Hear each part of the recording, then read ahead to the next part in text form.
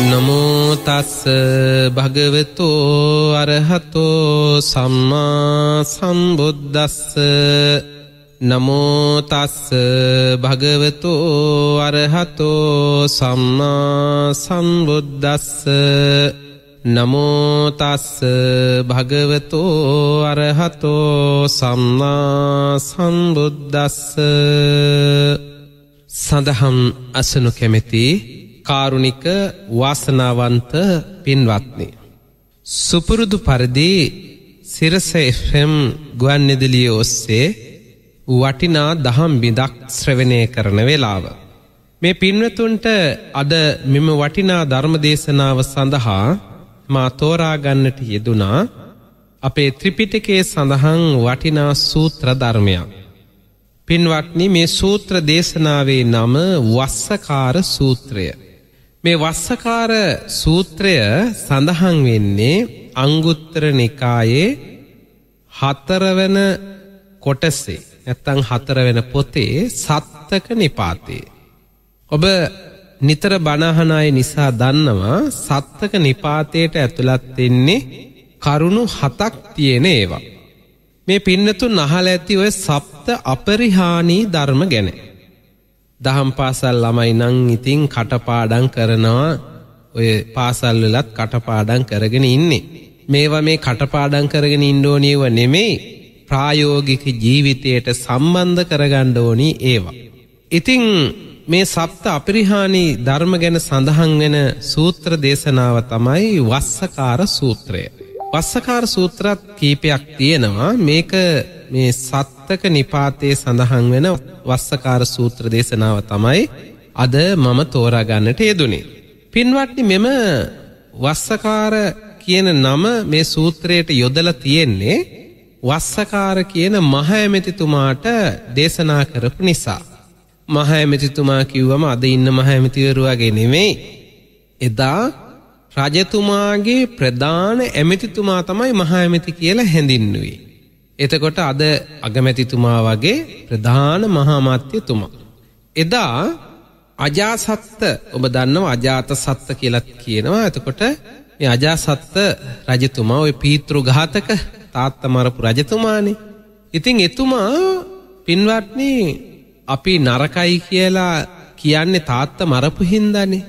බණපොතේ සඳහන් වෙනවා අජාසත්ත රජතුමා දෙවිදත්තර හාමුදුරුවොත් එක්ක එකතු වෙලා. ඒ කියන්නේ නරක මිත්‍ර ආශ්‍රය නිසා තාත්තා නොමරුවානම් පින්වත්නි සෝවාන් වෙන්න තරම් පිනක් තිබුණා. බලන්නකෝ අදත් මේක අපිට හොඳ පාඩමක්. කල්යාණ මිත්‍ර ආශ්‍රය නැතුව නරක මිත්‍ර ආශ්‍රය ලැබුණොත් අපට ලැබෙන්ඩ තියෙන ගොඩාක් දේවල් කොච්චර හැකියාවන් තිබුණත් අහිමි වී යනවා. ඒ නිසා මතක තියාගන්න ඕනි චූටි දරුවන්ගේ පටන් අපේ අම්මලා තාත්තලා ආච්චිලා සීයලා දරුවන්ට කල්යාණ මිත්‍ර සම්පත්තිය ලබා දෙන්න. වෙන මුණදේ ලබා දුන්නත් වරද්ද ගත්තොත් වරද්ද ගත්තා. අජාසත්ත කුමාරයාටත් වනේ ඒ ටික. ඔහු තමන්ගේ තාත්ත මරපු ඒ පාපේ ආනන්තරයේ පාපකර්මය නොකරගත්තන ඔහුට සෝවාන් වෙන්ඩ තිබුණ. ඔබ දන්නවා පළවෙනි ධර්ම සංගණනාවේදී රාජ්‍ය අනුග්‍රහය දක්වන්නෙත් ඔහු. එම රජතුමාගේ ප්‍රධාන ඇමිති තමයි වස්සකාර අමාත්‍යතුමා. මේ වස්සකාරය අමාත්‍යතුමා හරි ආඩම්බරකාරය. කොච්චර ආඩම්බරද කියනවනම් එක දවසක් ඔහු පාරායිනේ කට්ටියක් එක්ක කතා කර කර ඉන්නවා. මේ කතා කර කර ඉන්න අවස්ථාවේ අපේ බුදුරජාණන් වහන්සේ හාමුදුරුවන් වහන්සේලා පිරිසක් සමග පිණ්ඩ පාති වැඩම කරනවා. පින්වත්නේ ගිජ්ජකූට පර්වතය ආසන්නේ ඒ වැඩම කරනකොට බුදුහාමුදුරුවන් පිටිපස්සෙන් හාමුදුරුවන් වහන්සේලා වඩිනවා. මේ හාමුදුරුව අතර එක ස්වාමීන් වහන්සේ නමක් හිටියා උන්වහන්සේ කලුයි ලස්සන නෑ කැතයි කියන්න හොඳ නෑ අපි කිම ලස්සන නැහැ කියමුකෝ.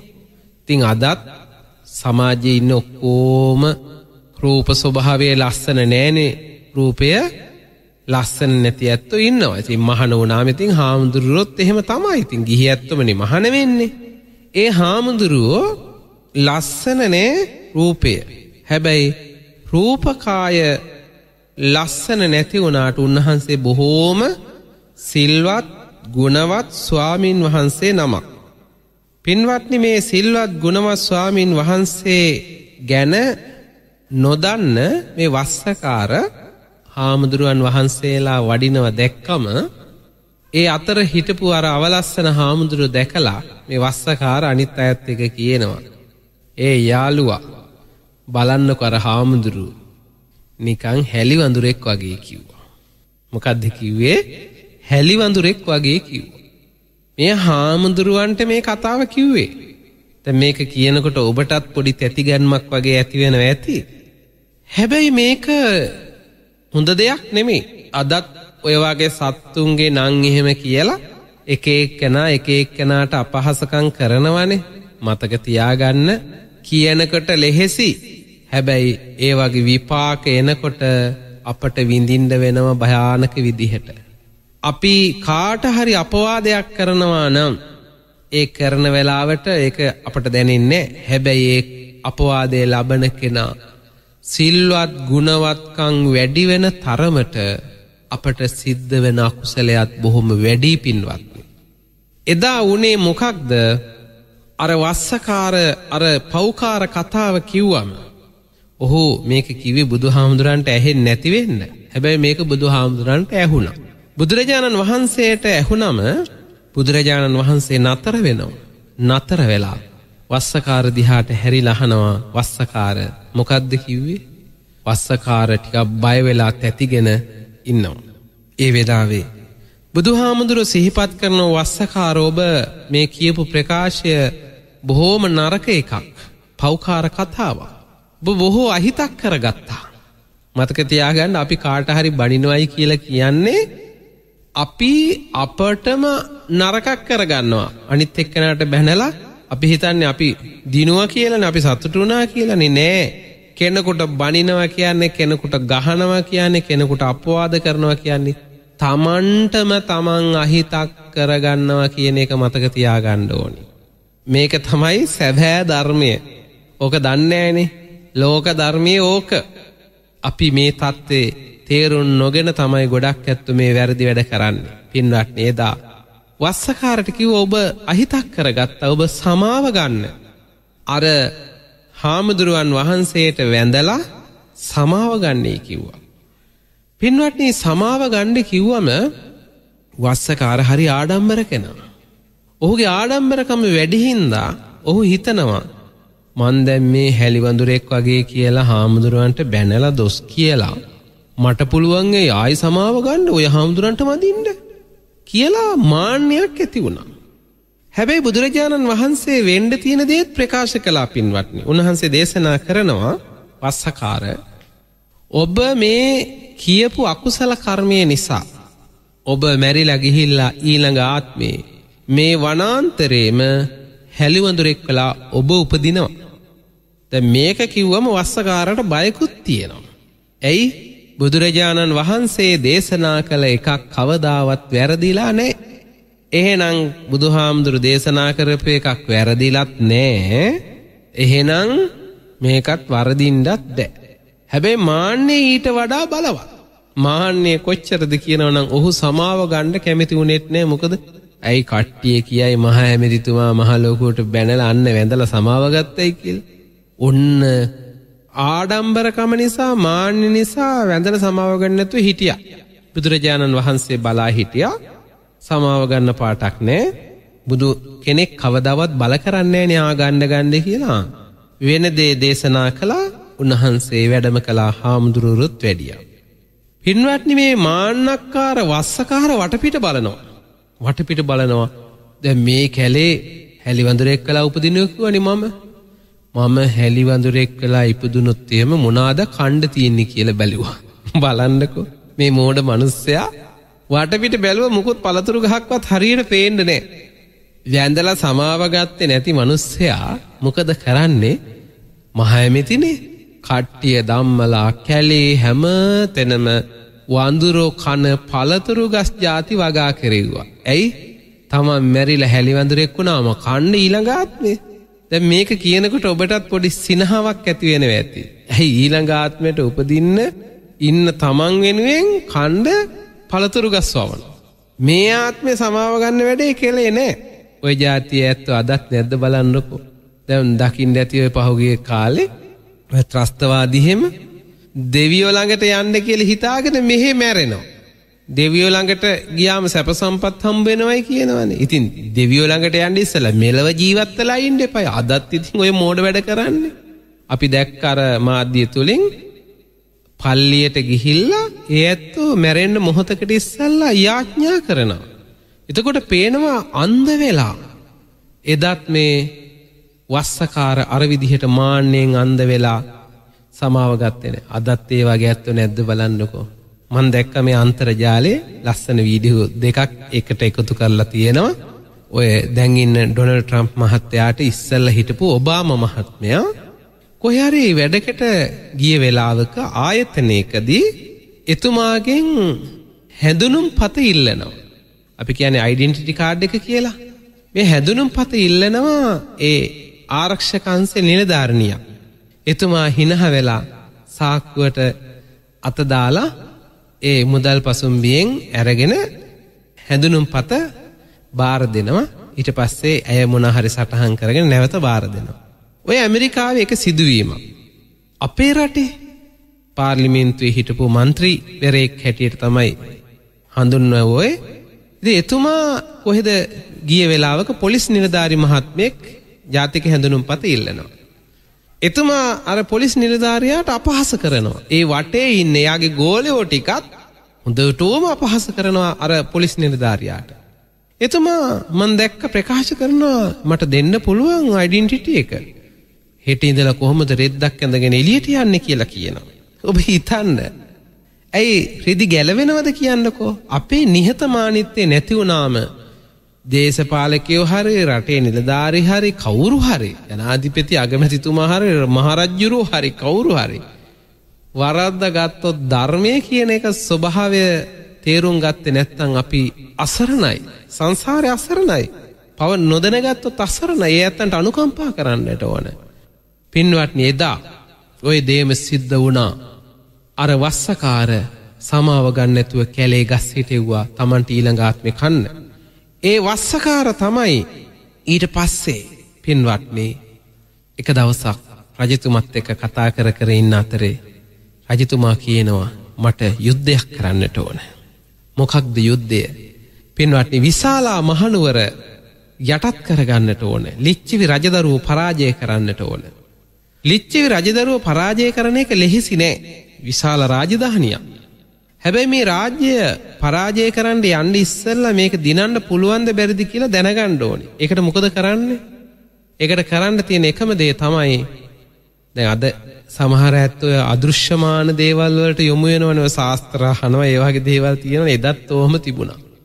රජතුමා කියනවා වස්සකාර ඕක බුදුහාමුදුර ළඟට ගියා නම් හරියටම දැනගන්න පුළුවන්. ඒ කියන්නේ බුදුහාමුදුර පලාපල දේශනා කරන්නේ නෑ. හැබැයි බුදුහාමුදුරුවෝ දිනන්න පුළුවන් කිව්වොත් දිනනවා. පරාද වෙනවා කිව්වොත් නම් යන්නේක තේරුමක් නැහැ. ඒ හින්දා ඕක පොඩ්ඩක් අපිටිකමින් අහගත්තනම් හරි. බලන්නකො. දේශපාලකයෝ එදත් එකයි අදත් එකයි සමහර වෙලාවට බැලුවා. සමහර දේවල් ඒ කපටිකමෙන් ඒ උපක්‍රමශීලීව සමහර දේවල් කරන්න හදනවා. අදත් සමහර ඇත්තෝ ඉන්නවනේ ඒ වාගේ ඔක්කොම නෙමෙයි. ඉතින් එදත් ওই තත්ත්වයටපත් වුණා.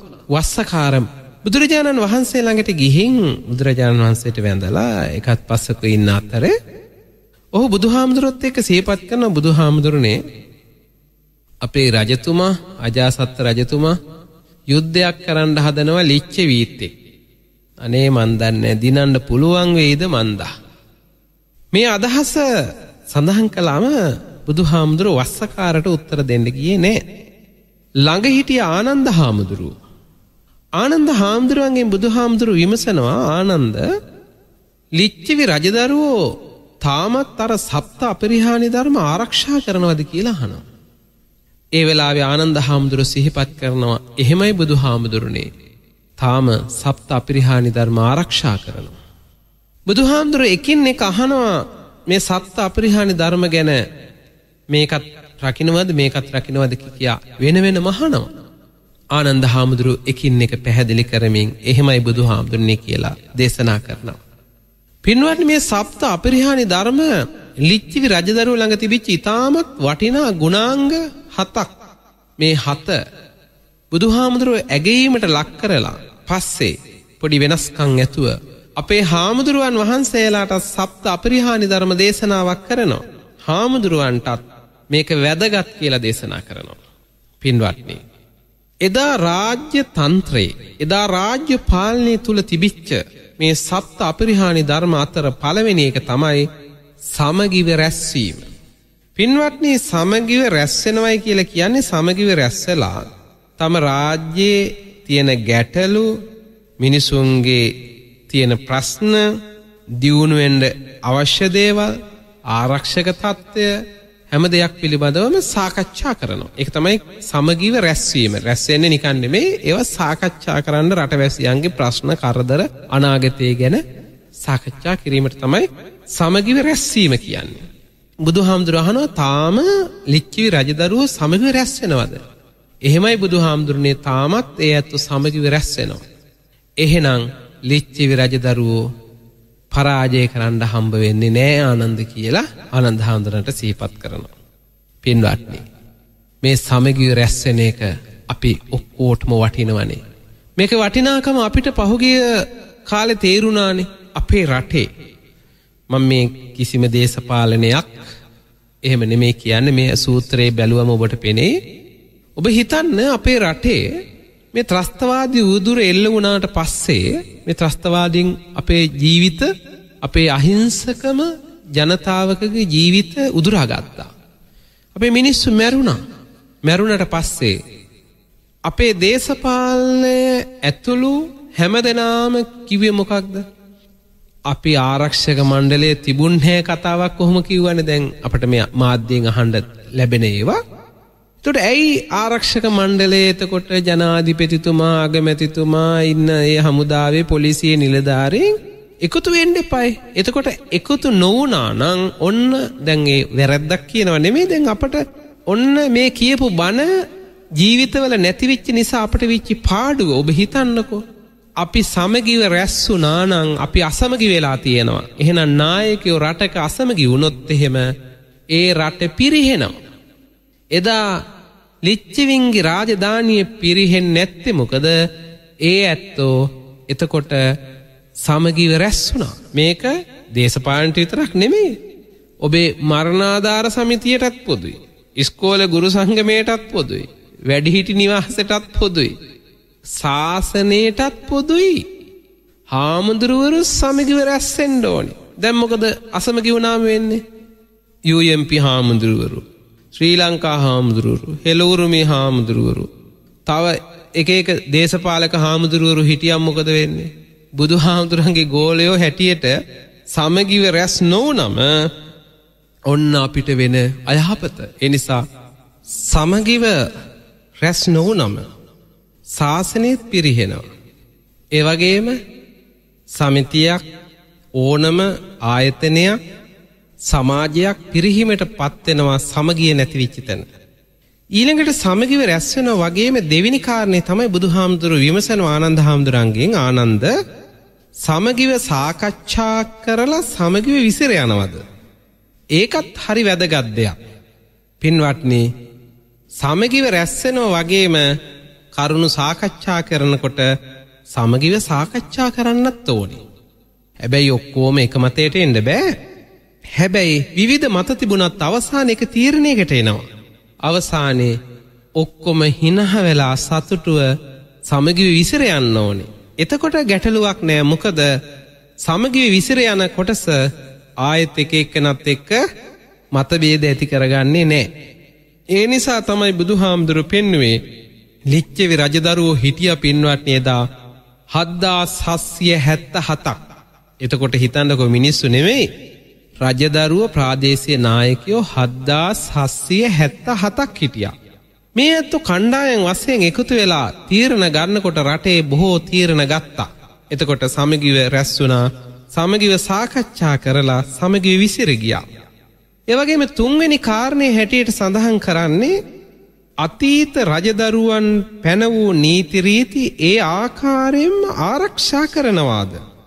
ඒවා උල්ලංගෙනය නොකරනවාද. ඒ වගේම අතිරේක නීතිරීති පනවන්නේ නැද්ද. දැම් මේක කියනකොට හිතෙනවා අද කාලෙට කියනවද මන්දන්නෑ කියනවා. මොකද රටක ඒ පැරණි යම්කිසි සම්ප්‍රදායන් නීතිරීති කොන්දේසි තිබුණා නම් ඒව ඒ විදිහට ආරක්ෂා කරන සමාජය කවදාවත් පිරිහෙන්නේ නෑ පින්වත්නි. ඒව උල්ලංඝනය කරන්න වෙනස් කරන්න යන්න ඕනන්නෙත් නේ. ඊළඟට අලුතෙන් ඒව එකතු කරන්න ගියාමත් ප්‍රශ්න. විවස්ථා සංශෝධන කරන්න ගියාම තමයි ප්‍රශ්න. ඒ කියන්නේ එදත් මේ ප්‍රශ්න තිබිල තියෙන ඒකෙන බුදුහාමුදුරුව මේ අද නෙමේනි දේශනා කරන්න එදා මේක සූත්‍රයේ හරි ලස්සනට පැහැදිලි වෙනවා. අලුතෙන් ඒව මේව එකතු කරන්න ගියාම තමයි ගැටලු ඇතිවෙන්නේ. එතකොට පැරණි රජදරුවෝ කරගෙන ආපු දේවල් ඒ ආකාරයෙන්ම ආරක්ෂා කරනවා නම් කොච්චර හොඳද. දැම් මේ අවුරුද්ධ අපට වෙසක් උත්සුවේ අහිමි වුණා. වෙසක් උත්සුවේ නැති වුණ අපේ පැරණි රජදරුව පවත්තාගෙනාව. එදා පින්වත්නේ දුටු ගැමනු රජතුමා වෙසක් උත්සුව විසි හතරක් කරලා තියෙනවා. ඒ වෙසක් උත්සවේ අවසාන වනාම රටවැසි එකතු වෙලා එතුමාට විශේෂ ඔටුන්නක් හදල පළඳලා තියෙනවා. ඒවාගේ හද පෝටුණු විසි හතරක් දුටු ගැමුණු රජතුමාට හම්බ වෙලා තියෙනවා. ඒ වෙසක් උත්සවේ ලස්සනට කරා කියලා එතුමාට ලැබිච්චි තෑග්ග ඔටුන්නක් පැළඳවා. දැන් අපි මොකද කරන්නේ. ඔටුනු දාණ්ඩතියා අපට උත්සවයත් කරන්න හරියට බැරි වුණා අපි ත්‍රස්තවාදීන්ට බයේ පන්සල්වල ආගමික කටයුතු පවා බොහෝ ඒවා නවත්තන්ට සිද්ධ වුණා. එතකොට එදා බුදුහාමුදුරුව විමසා සිටිනවා ආනන්ද හාමුදුරුවන්ගෙන් හතර වෙන කාරණය ආනන්ද ඔය විශාලා මහනුවර අය මහලු වැඩිහිටි තම පරපුරේ අය ඒ කියන දේවල් අහනවද. ඒ ඇත්තන්ගේ අවවාද අනුශාසනා පිළිගන්නවද. ඔවුන්ට ගරු කරනවද කියලා අනවා. මේකත් සමාජයකට හරි වටිනව පින්වත්න්නේ. දැන් අද වෙනකොට වැඩිහිටියන්ට ගරු කිරීම ගොඩාක් නැතිවෙලා ගිහිල්ලා. අඩු වෙලා. මට මතකයි අපි පොඩි කාලේ අපේ ගම්මානවෙල වැඩිහිටි පිරිමින්ට අපි කිවේ මාම කියලා. කාන්තාවන්ට කිවේ නැන්ද කියලා. ගමේ ඔක්කෝම නැන්දලා මාමලා තමයි. එතකොට ඒ වැඩිහිටියෝ ළමයින්ටත් පුතා දුව කියලා හරි ආදරෙන් සැලකුවා. කොහේවත් වැඩිහිටියකුට පේන්ඩ වැරද්දක් කරන්න ගියේ නෑ බයයි. වැඩිහිටියෝ ළමෙක් වැරද්දක් කරනවා දැක්කොත් කාගෙ ළමයද කියලා බලන්න සැර කරනවා ළමයෝ මොකක්ද ඔය කරන්නේ. ඒ හින්දා වැඩිහිටියන්ට ගෞරවාන්විත බවක් තිබුණ අභිමානයක් තිබුණ. අද වෙනකොට වැඩිහිටියොත් ළමයි ගැන එහෙම ගණන් ගන්න තමන්ග ළමයා හොඳින් ඉන්නවන ඇති අනිත්තය මුණනා කරත් කමක්නේ. ළමයිනුත් වැඩිහිටියන්ට තියෙන ගෞරවයත් අඩු වෙලා ගිහිල්ලා. ඒක නැති කරගත්තෙත් වැඩිහිටියොම තමයි. යම්කිසි සමාජයක ඒ ළමා පරපුර බාල පරපුර වැඩිහිටියන්ට ගරු කරනවනං ඒ ඇත්තො කියන දේ අහනවනං එවන් සමාජයක් කවදාවත් පිරිහෙන්නේ නෑ කියලා බුදු හාමුදුරුව දේශනා කරනවා. ලිච්චි විරාජදරුව කවදාවත් පරාජය කරන්න බෑ.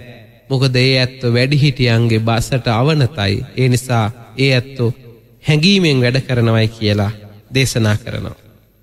ඊළඟට පස්සනි කාරණය රටේ කුලේ ස්ත්‍රීන්ට දැරියන්ට කුමාරිකාවන්ට ආරක්ෂාව සපයනවාද ඔවුන්ට ගෞරවයෙන් රැකවරණය ලබා දෙනවාද. ද මේකත් හරි වටින කාරණයක් පින්වත් රටක ඒ කාන්තාවන්ට දූවරුන්ට රැකවරණය ලබා දෙන්න ඕනි. දූරු ආරක්ෂා කරන්න ඕනි. ඒකට ඉතින් කඩුතියාගණ්ඩ ඕන්නේ මන් දැක්ක පහුගේ දවසක ගෙවල්ලල කඩුතියාගෙන ඉන්නවයි කියල දුවරු රකින්ඩ හැබැයි අපේ අය කඩුතියාගෙන නෙමෙයි දුවරු රැක්කේ.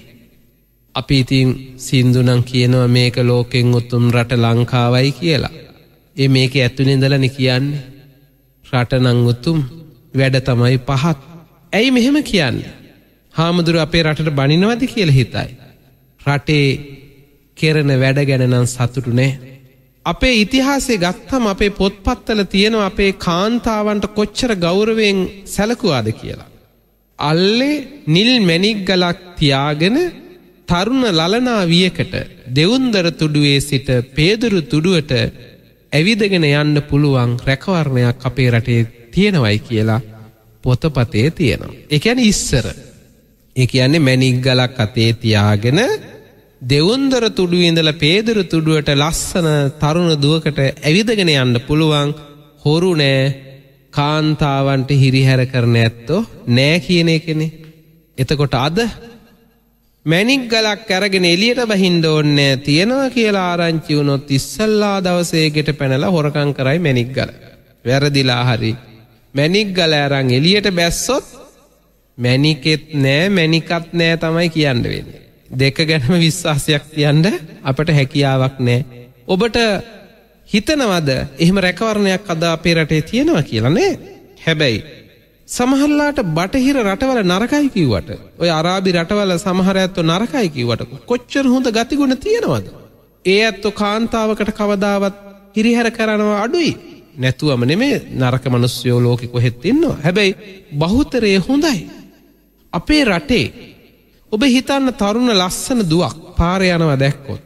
ඒ දුවට කොච්චර අයියලා ඉන්නවද කියල බලන්නකු. හා නංගී කියල කතා කරන නංගි කියන. ඒ ඇත්තරම ආදරයට ලෙංගතුකමින්ද නෑ උපහස්සයට අපහසයට. සමහල්ලාට ශූෂූගාල සරපයෝ පිමිනවාගේ සමල්ලට විශිල් ගහන ඇත්තෝ. එතකොට ඒ තරුණ දුවකට කාන්තාවකට පාරයන්ඩ බෑ හන්දියක ඉන්න සමහලට ත්‍රීවල් රතර යදුරුවෙන්ට පුළන් තරුණ පිරිස් ඒ කාටද අපහස කරන්නේ. ඔබ හිතන්න මගේ නංගි කෙනෙක් ඉන්නවන. මගේ අක්ක කෙනෙක් ඉන්නවන. මගේ අම්ම කෙනෙකුට සහෝදරීකට කවුරු හරි එහෙම අපහස කරනවා නං මම කැමැතිද නෑ එහෙනම් ඇයි තවත් අහිංසක අම්ම කෙනෙක්ගේ තාත්ත කෙනෙක්ගේ තවත් සහෝදරයගේ දුවකට ඇයි එහෙම අපි අපහස කරන්නේ? අපේ කාන්තාවන්ට රැකවරණය දෙන්නේ කවුද? එතකොට මේ දේවල් කරන්නේ ත්‍රස්තවාදිදනේ එතකොට කෝ අපේ බෞද්ධ රට? කෝ අපේ බෞද්ධකම්? කෝ කියන බණ? එතකොට පරිහානී ධර්ම ඇවිල්ල අපරහානී ධර්ම නැති වෙලා ගිහිල්ලා. අද වෙනකොට ඒ කුල කාන්තාවන්ට රැකවරණය කියන එක අපි අතරින් අඩු වෙලා ගිහිල්ල සමහල්ලාට බස් එහෙක යනකොට නිදහසේ බස්සයක යන්න දෙන්නේ කවුද මේ තවත් පිරිමියෙක් නේද එතකොට ඔබ දන්නවා තරුණ දුවක් නම් පන්තියකට යනකොට සමහලට රැකියාවට යනකොට අම්ම හරි තාත්ත හරි කවුරුහරි තවත් කෙනෙක් එක්ක යනවා. බස් එකේ ටිකෙට් දෙකක් ගන්න ඕනේ. දෙගුණයක් ගෙවන්න ඕනේ. ඇයි? අපි වැඩිපුර ගෙවාගෙන වැඩිපුර වියදම් කරගෙන යන්නේ කාට බයේද? අපේම රටවැසියන් අපට කරන හිරියර ත්‍රස්තවාදීන්ට බය නෙමෙයිනේ. ඔබේ දුව හරි පුතා හරි නැත්තම් තරුණ නෝනා සමහල්ලාට වැඩ ඇරිල කාර්යාලයඉඳල හන්දියට එනකං විශ්වාසයි. හන්දියඉඳල ගෙදරට එනකං විශ්වාස නැති නිසා යනව හන්දියට එක්කන්ගෙන් ඇයි කොටින්ගෙන් බේරගණ්ඩ වලස්සුන්ගෙන් බේරගණ්ඩද නේ තවත් අසත්පුරුෂ පුරුෂයකින් අසත්පුරුස කොල්ලෙක්කින් වෙන හිරිහැරය වලක්වා ගන්න. එතකොට මේ බෞද්ධ කියන රටේ කෝ අපේ බෞද්ධකං. මේවට වග කියන්න ඕනි ත්‍රස්ථවාදිද මේවට වග කියන්න ඕනි දේශපාලකයෝද? ආණ්ඩුවද? නේ. අපිමයි. ඒකයි මම කියන්නේ. එතකොට ආණ්ඩුවටවත් විපක්ෂයටවත් කාටවත් බැනල වැඩන්නේ අපි හැදෙන්ඩ උත්සහ ගණ්ඩ ඕනි. ඊළඟ කාරණය තමයි පින්වත්නි හයවෙනි එක. රටේ තියෙන දේවාල ආදී ආගමික ස්ථාන දේවාලකිවේ ඒ කාලෙ හැටියට පූජනී ස්ථාන විහාරස්ථානාදිය ඒවට ගරු කරන්නට ඕනි ඒවා ආරක්ෂා කරන්න කටයුතු කරන්න ඕනි. රටේ තියෙන පන්සල් පල්ලි කෝවිල් ආදී ආරක්ෂා කරන්න ඕන. මෙ විනාස කරේ කවුද ඔබ හිතන්න පන්සල් විනාස කරේ කවුද. බුදු පිල්ම කැඩුවේ කවුද ත්‍රස්තවාදීව කීප දෙනෙ පහුගේ දවසල කැඩුවා. ලංකාවේ වැඩියම බුදු පිල්ම විනාස කරල කවුද කියන්නක ත්‍රස්තවාදීන්ද නේ අපහෙම ඇත්තෝ පන්සල්වල පින් කැට කඩන්නේ කවුද. බෞද්ධයම තමයි. නිදංහුරු කියන්නේ කවුද අපේම අය ඔය පැරණි බුදු පිල්මවල පපුුව හාරලා සිර සහාරලා විනාස කරලා නිදං හාරලා චෛත්‍ය හාරලා විනාස කළේ. ත්‍රස්තවාදී අයිස් කාරයෝ නෙමෙයි අපේම ඇත්තෝ. එතකොට කෝ අපේ ළඟ අපරිහානි ධර්ම කෝ එවගේම හත්තෙනි කාරණය රටේ ඒ නොපමිණි භික්‍ෂූන් වහන්සේලාගේ එහෙම නැත්තං ඒ ප්‍රදේශයට නොපමිණි අයගේ පැමිණීම බලාපොරොත්තු වෙනවා. ඒ රටේ ඉන්න භික්‍ෂූන් වහන්සේලා නැත්තං ආගමික නායක ඇත්තන්ගේ. අවවාද අනුශාසනා පිළිගන්නවා. ඒ ඇත්තන්ට රැකවරණය ලබා දෙනවා. ඒ ඇත්තන්ට ගරු බුහුමන් කරනවා ඒ ඇත්තන්ගේ අවවාද අනුශාසනා පිළිගන්නවා. එවැනි ජාතියක් කවදාවත් පිරිහෙන් නෑ කියලා සඳහන් කරනවා. අද වෙනකොට අපට ප්‍රශ්නයක් තියෙනවා. අපේ හාමුදුරුවරුන්ගේ වේවා එතකොට අනිත් ආගමික නායකයන්ගේ යහපත් අවවාද අනුශාසනා පිළිගන්නවද රටේ නායකයෝ එහෙම පිළිගන්නවා නම් ඒ රට දියුණු වෙනවා ඒ රට පරාජය කරන්නට බෑ කාටවත් ඒ රට පරිහානියට පත් කරන්න බෑ කියලා ආනන්ද හාමුදුරන්ට දේශනා කරනවා. මේ රට දසමහ යෝධයෝ හිටපු රටක් පරාක්‍රම බහු රජතුමාගේ කාලෙ වෙනකොට අපේ රටේ අයට ඇවිල්ල හිරිහැර කලාම බුරුමයට ගිහිල් අද මියන්මාරය කියන රටට ගිහිල්ලා එහෙන් දොළොස්දාහක් කරංආව ලංකාවට ඇවිල්ල වැඩගත්තා. එතකොට අපි ලංකාව විතරක් නෙමේ පිට රටවල් පාලනය කරා. එවැනි ශ්‍රේෂ්ඨ ඇත්තෝ අපට හිටිය. අපි හිතන්න මුස්ලින්ද කිස්තියානිද කතෝලිකද සිංහලද දෙමලද කියන එක නෙමෙයි. අපි ඔක්කොම එකතු වෙන්න ඕනේ. හැබැයි ඒ ඇත්තන්ගෙත් වැරද්දක් තියෙනවා. මොකද වැරද්දක් තියෙන කියලා ඔක්කොම නෙමෙයි. සමහර ඇත්ත වෙනස් වුණා. අපි එකට හිටිය අපේ රටේ ඔක්කොම සමගියෙන් හිටියා. පහුගිය දවසක මහාචාර්ය මහත්මයෙක් මාත් එක්ක කියනවා හාමුදුරනේ. විශ්වවිද්‍යාලේ අවුරුදු පහයකට ඉස්සෙල්ලා ආපු මුස්ලිම් දූවරු ඔක්කෝම මම අඳුරනෝ හාමුදුරනේ. ඒ ඇත්තෝ අදත් පාරෙ දැක්කම ස කියල මට කතා කරනවා. එක තමයි ඇත්ත. එතකොට දැන් අවුරුදු පහයක ඉඳලා ඒ ඇත්තු මූුණ වහගෙනනවා. ඒ ඇත්තුත් එක මං කතා කරන්න මට අඳුරන්නත් බෑ ඒ ඇත්තු මං අඳුරන්නෙත් අඳුරන ඇති මනං ඒ ඇත්තු කවරුවත් අඳුරන්නේ. ඉතින් අර රෙද්දෙ මූුණ වහගෙන ගියාම කවද අඳුරන්න අඳුරන්න පුළුවන්ද බෑ. එතකොට ඒ ඇත්තු වෙනද අපි විශ්වවිද්‍යාලේ ඉගෙන ගන්න කාලෙත් මතකයි මුස්ලිම් කතාවක් නෑ. මුස්ලිම් දෙමළ කිස්තියානි බෞද්ධ එහෙම කතාවක් නෑ. අපි ඔක්කොම හිනහවුනා කතා කළා සුහඳව ආශ්‍රය කළා. හැබැයි අද වෙනකොට එහෙම මූුණ වහගෙන ගියාව ඒ ලෝග ඇතුළ ඉන්න කවුද කියලා අපි කවුරුවත් දන්නේ හිනහ වෙන්න නෑ. එතකොට අඳුනගන්න බෑ. එතකොට අපිද වෙනස් කරේ මේක? කවුද වෙනස් කළේ? කාට ඕනාවටද මෙහමුණේ ඔබ හිතන්න. දැම්ම මේ මුස්ලිම් ජනතාවටත් ම මේ ආදරයෙන් කියන්නේ. එතකොට මේ වෙනස්වීම කළේ කවුද අපිද නෑ බෞද්ධයෝද කරනේ අන්‍යාගමිකයොත් නෑ ඒ ඇත්තු ඇයි මේ වෙනස්වීම තුළ බෙදුනා වෙනද එකට කාලබීලා කැන්ටින් එකේ හිනහ වෙලා පාරි දැක්කම හිනා වෙලා හිටපු ඇත්තෝ වෙනස් වුණා. එතකොට වෙනස් වෙනකොට ඔන්න කට්ටිය අතර බෙදීමක් ඇති කරගත්තා. මේ බෙදීම නැතු ඉස්සර අපි එකට හිටි අවුරුද්ධට හදපු කැවුම් කිරිබට්ටික යහා ගෙදරට දුන්න. ඒ ඇත්තොත් ඒ ඇත්තන් ගුස්වලට හදපු කෑම ජාති මේ ගෙදරට දුන්න සමගියෙන් හිටියා. ඒ සමගිය නැති කරගත්තේ අපිමයි. එතකොට රටක රටවැසිව හැටියට අපි එකතු වෙන්නට ඕන. මේ ආගමික බෙදීන් ඇති කරගෙන එක එක ජාති වෙන් කරගෙන අපි එහෙම හිටියම තමයි අපේ වෙනස තොට සමගිව රැස්සෙන්ඩෝනි රටවැසිව හැටියට ආගමික එකතු වෙනොන මේ කණ්ඩායම් නෙමේ අපි එකතු වුණොත් සමගිව රැස්සුනොත් සමගිව සාකච්ඡා කළොත් සමගිව විසිරගියොත් ඒ වගේම මේ ආගම් මතර තියෙන මතබේද නැති කරගත්තු ත්‍රස්තවාදීන්ට අපිව මරන්නට බෑ. අද වෙනකොට මුස්ලිම් ජාතිකයොත් බොහොම බයෙන් ඉන්නවා. ඒවගේම අපි දැන් සිංහල ජාතිකව අතර දැම් මතයක් තියෙනවා. මුස්ලිම් ජාතිකව නරකයි. නරක ඔක්කුම නරකනේ ඇත්තන්ගෙත් ගණ්ඩ පුළුවන් හොඳ කොච්චර ගුණාංග තියෙනවද. ත්‍රස්තවාදීන්ට එකතු වෙලා සමහර ඇත්ව නර්ක ජාති කරනව තමයි. හැබැයි මේ බණහන බෞද්ධයෝ බොහොමයක් ඔබට මං ආදරෙන් කියන්නේ. අපේ සිංහල ජාතිය විනාස කරේ කවුද. එතකොට වඳභාවයට පත් කරලා ඔන්න ගොඩාක් ඇත්තු නැති වුණයි කියල කියනවා. හැබැයි ඊටත් වඩා අපේ ජාතිය කොච්චර පිරිහිලාද. අද වෙනකොට. ඔබ මේක රහසක් නෙමේ ලංකාවට වැඩියෙන්ම කුඩු එහෙම ගෙනෙල්ලා මත්වෙන ජාති ගෙනෙල්ල තියෙන්නේ කවුද. හැබැයි මේ වැඩ්ඩිම හරියා බීල තියෙන්නේ කවුද. අපි හැත්තු ඒ කියන බෞද්ධ ඇත් එතකොට වැරද්ද කාගද බීපල්ල බීපල්ල කියලා කටවල්වල එබුවද ගිහිල්ල නේ එතට අපේ අයම ඒව බොන්්ඩ පටන් ගත්තේ අපේ ඇත්ත. හවසට හැමදාම බාර්වල ගිහිල්ල බලන්න හැම බාර එක්කම කවුද ඉන්නේ. අපේ බණ්ඩයි එලා ටික තමයි. රියදුරෝටික ඔක්කෝම වගේ බොනව සීයට අනූ නවයක්ම බොනවා. ඊළඟට බාසුන් හෙල ඔක්කෝම බොනවා. මගුල් ගෙදර කියලත් බොන. මල ගෙදර කියලත් බොනවා. බණගෙදරත් බොනවා.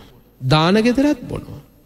හැම්ම ගෙදරටම බොනව රිප් එකක් යනවකුව චාරිකාවක් යනවා කිව්වත් ක්‍රෑවෙනකොට බොන්්ඩමයි බලන්න. ළමයි කණ්ඩායමක් එකතු වනත් බොන්්ඩමයි බලන්නේ. පඩිය ටිකක් වැඩි වුණාකුවත් පාටිය එකක් කියල බොනවා.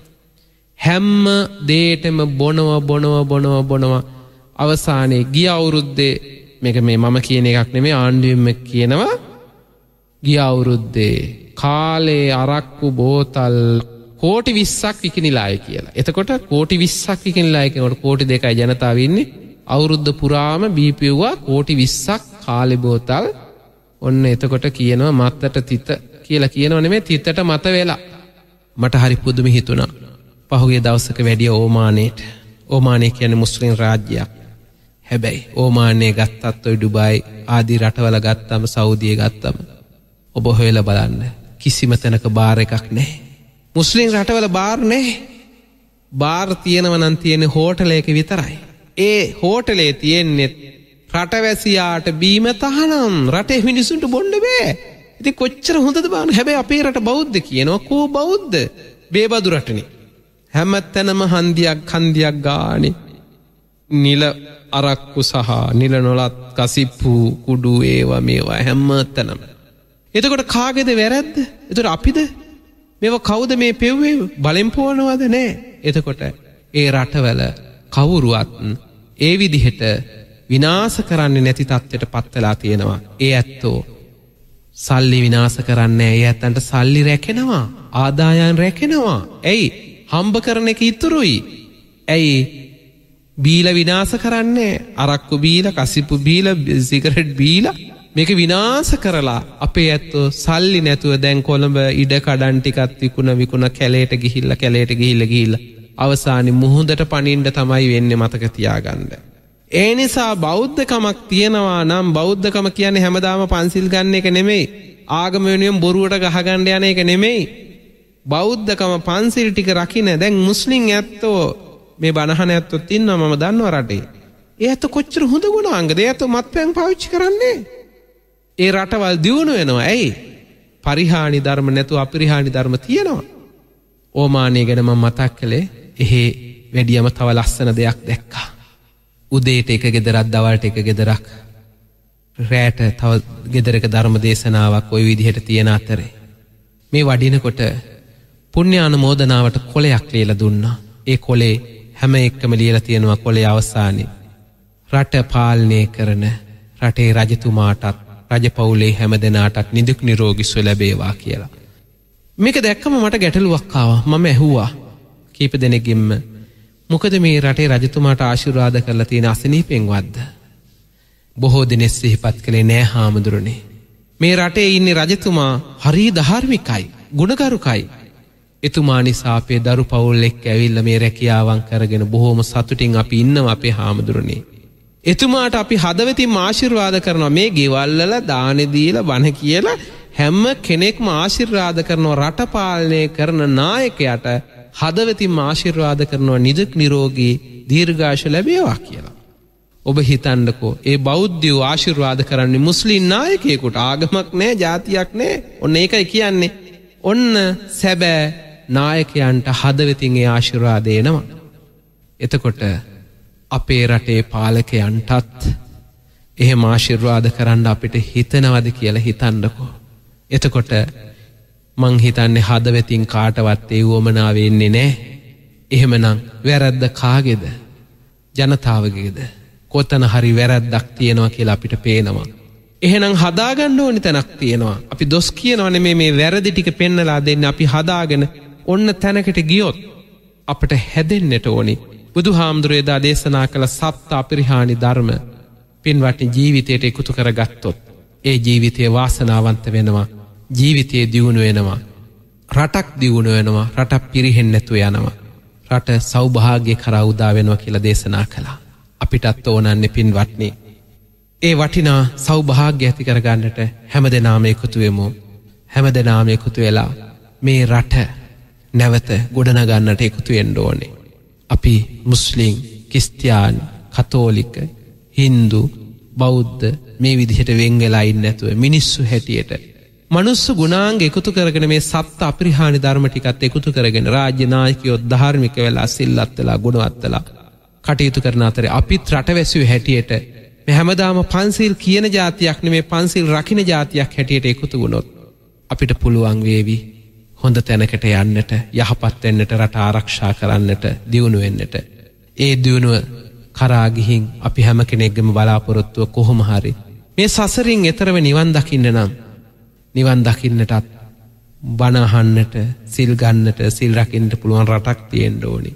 හොඳ ආගම අදහන්නට පුළුවන් ස්ථානයක් තියෙන්න්නට ඕනි ඒකයි මං මේ දේශනා කළේ එහෙම නැතිවුණොත් අපට වෙසක් නැති වුණා වගේම නිවනත් නැතිවෙලා යනවා හොඳ රටක් නැතිවුණොත් අපට බනාහන්ඩත් බෑ සිල් ගණ්ඩත් බෑ භාවනා කරන්නත් බෑ මොකක්වත් කරන්නට බෑ. ඒ නිසා අපි ඔක්කොම එකතු වෙලා. අපි කුලකාන්තාවන් ආරක්ෂා කරන හැම කෙනාටම ගරු කරන මිනිස්සු වසයෙන් එකතු වෙලා මේ රැස්කරගත්තා වූ පින නිවන කරා යන ගමනට පාර්මිතාවක්ම වේවා කියන ප්‍රාර්ථනය ඇති කර ගනිමු. අද දවසේදී මේ වටිනා ධර්ම දේශනාව ශ්‍රවණයකොට රැස් කරගත්තා වූ පින් අපි දෙවියන්ට අනමෝදං කරමු මේ පින් අනමෝදන් වූ දෙවියෝ අපි ආරක්ෂා කරත්තා දෙවියන්ගේ දේවල්ම බැල්ම රැක්වරණය ආරක්ෂාව අප වෙත ලැබේවා දෙවියනොත් ප්‍රාර්ථනය බෝධියකින් අමාමහනිවනින් සැනසේවා කියා ප්‍රාර්ථනා කරමු. ඒ වගේම අප හැම දෙනා නමින්ම වර්ග පරම්පරාවේ මිය පරලව ගියා වූ සිල ඥාතීන්ටත් මේ පින් අත්තේවා මේ පින් අනමෝදන් වූ ඥාතීන් සුකී සුවපත් භාවයට පත්තේවා. ඔවුනුත් බුදු පසේ බුදු මහරහත් කියන්නා වූ තුන්තරාබෝධියෙන් එක්තරාබෝධියකට පැමිණ අමාමහ නිවනින් සැනසේවා කියා ප්‍රාර්ථනා කරමු. ඒවගේම පින්වටනේ අප මේ වටිනා ධර්ම දේශනාව නිවස්සල සිර ශ්‍රවණය කරා ඒ තුළින් රැස් කරගත්තාව පින් අපගේ ආදරණය දෙමවපියු දූදරුව අපට යහමග කියාදුන් ගුරුවරු නෑදැහිතවත් සහෝදර සහෝදරියන්නාදී හැම දෙනාටම මේ පින් අත්තේවා. මේ පිනේ බලයේ ශක්තියෙන් කරන කියන රැකී රක්ෂාදී කටයුතු වෙළහෙළඳාම් කටයුතු දරුවන්ගේ අධ්‍යාපන කටයුතු ආදී සියලු යහපත් කටයුතු දිනෙන් දිනම සාර්ථක වේවා. කායික පීඩාවක් ඇතින වේවා මානසික පීඩාවක් ඇතින වේවා. යහපත් වූ සිතන සිතුමන් පතන පැතුමන්නට වූ වාසනාවන්ත ජීවිතයක කෙලවර සංසාරදුකින් අත්මිදී නිවෙනින් සැනසෙන්න්නටත් මේ රැස් කරගත්තා වූ පින්කම හේතුවේවා වාසනාවේවා කියා ප්‍රාර්ථනා කරමු. දෙවියන්ටත් පින් දෙමු ආකාසට්ටාච බුම්මට්ටා දේවානාගා මහිද්දිකා පුඤ්ඥන්තං අනුමෝදිත්වා චිරංරක්කං තිලෝක ශාසනං ආකාසට්ටාච බුම්මට්ටා දේවානාගා මහිද්දිකා පුඤ්ඥන්තං අනුමෝදිත්වා චිරංරක්කංතු දේශනං ආකාසට්ටාච බුම්මට්ටා දේවානාගා මහිද්දිකා පුඤ්ඥන්තං අනුමෝදිත්වා චිරංරක්කංතු තං සදාති සිරස එෆෙන් ධර්මාසනය. ලෝතුරු බුදුවදන් ගිහි ජීවිතයට මැනවින් ගැලපූ පූජ්‍යපාද කොටනෙළුවේ පුඤ්ඥානන්ද ස්වාමීන්ද්‍රයාණන් වහන්සේට නිදුක් නීරෝගී සුවලැබේවා.